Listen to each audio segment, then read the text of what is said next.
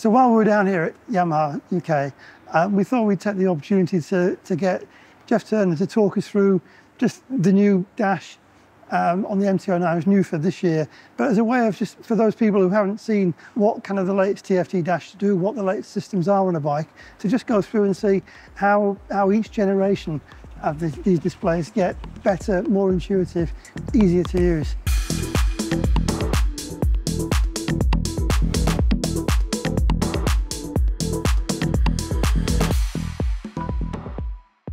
So yes, the uh, 2024 MT09 has a lot of upgrades and changes, but one of the biggest things that the rider will notice is the new switchgear and the new interfaces. Uh, this being the YAMT version, uh, this has keyless ignition, so you're already standing near to me with a, a key, so uh, we should be able to get into the fuel cap already, no lock on that needed.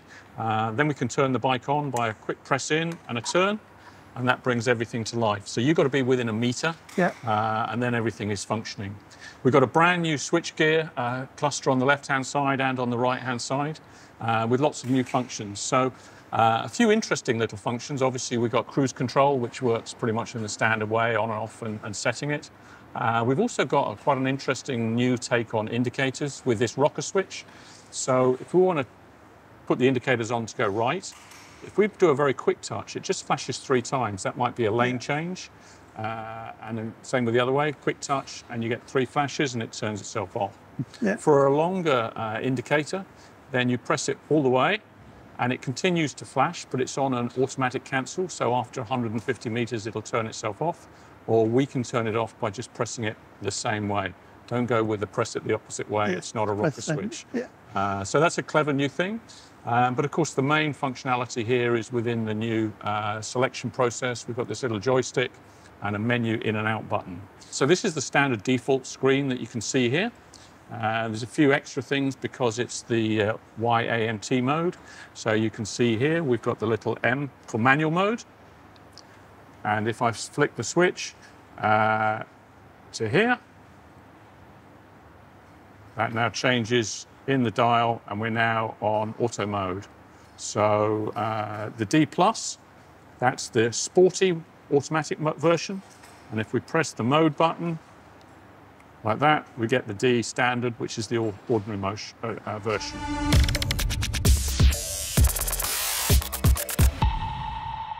The number one thing you probably want to have a look at here is selecting the menus. So in the uh, standard mode that we're in, if we go up and down through this, you can select how you want your uh, information displayed, and we can scroll up and down in each one of this to customize the screen. So if we want to have it on odometer, and instead of uh, coolant, we might decide we'll go with air temperature. And then we'll scroll across. Uh, if we don't want the fuel gauge on, we might go for a trip, depending on what you want. So you can customize this to show the information you want. Uh, all three of them have the same presets, so you can just scroll through. So we select that, come out of there, and if we press this again, we'll get into the, the menu here at the bottom. So the first thing we'll start off with is the themes. As we select the themes, you'll see we have four different takes on the dash display. That's theme one, theme two, theme three, and theme four. Uh, theme four is useful if we're also using the navigation because it pushes all of the rev counter and the functions to the top of the screen. But for, for this purpose, we'll choose the standard uh, setting here. We'll go back into the main uh, menu choice and we'll move across to uh, settings. Within settings, we can show all the different vehicle information, um, but most importantly, we have the vehicle function. So if we click into vehicle function, we have YRC settings. Yeah. So this shows you the, the settings uh, within the YRC mode that the, the bike is using when you have the different modes selected. So you can see here in sport mode, it's selecting number one on power, number two on traction control, number uh, one on slide control, number one on lift control, and as we scroll across, you can also see the brake control on. So that's your, your sports setting. I'm scrolling back across. If we go into street, it selects different power, traction, slide, and lift. Yeah. We go into rain, it's a very soft setting. Um, and you'll see on these, if I scroll back, we can't actually change these. I can click into them and you can see what they are. Um, and that gives you a little description of what's going on. Um, but we haven't actually uh, been able to change them because they're preset. Those first three settings are preset.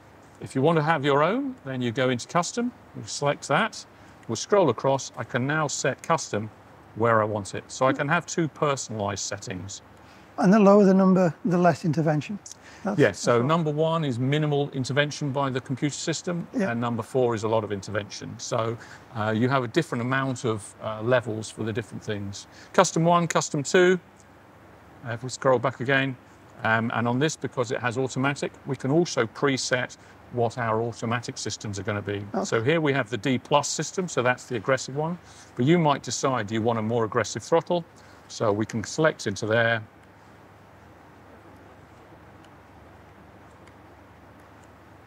That's on, on the minimum setting there. Select across, less traction. Uh, slide control's okay. We'll have minimum lift and we can select that and that's now a fixed setting for your D. If we go all the way back across, D, that's effectively a rain mode. So maybe we just have a little bit more on the traction um, and a little bit more on the lift, liven it up a bit. Um, and there, there is your automatic Okay, mode set.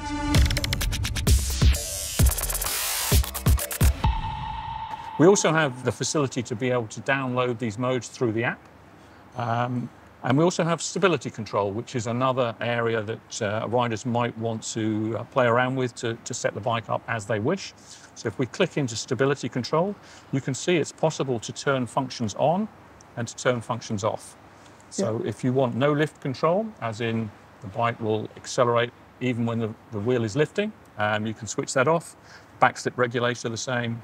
Um, the only thing is that if you have all the settings on and you turn traction off, and as you can see, that turns everything, everything off because you need the wheel speed always.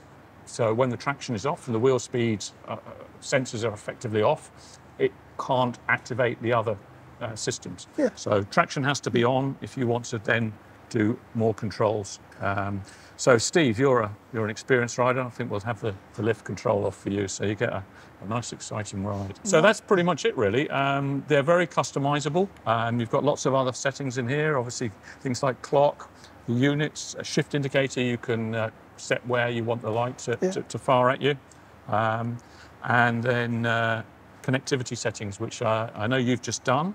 So on this particular bike, if we go back to the um, themes uh, and we select theme number four, that changes the dash. Um, and now you do your connectivity.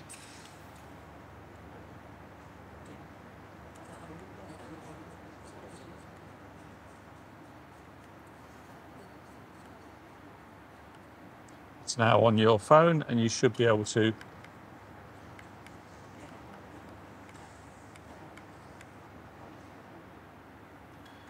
bring up your navigation, you press accept, and there you go. Yeah. A free right. Garmin street system, which will give you turn-by-turn navigation when you set in a destination. Lovely. So that's all preset and all part of the package you get with the 2024 MT09. Right. Great. Thanks for that. Pleasure. It was really interesting. Enjoy.